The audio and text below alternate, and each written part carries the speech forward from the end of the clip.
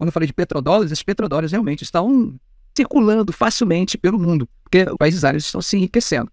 Esse contexto de enriquecimento faz com que o Geisel perceba a importância de ele se aproximar dos países árabes. Tá? Porque numa situação de crescimento, de desenvolvimento e o petróleo estando com um preço alto, em grande parte disso, porque há uma seleção desse fornecimento de petróleo, se aproximar dos países árabes é uma boa. Então nós vamos ter posicionamentos do governo de Geisel em prol dos árabes. Tá?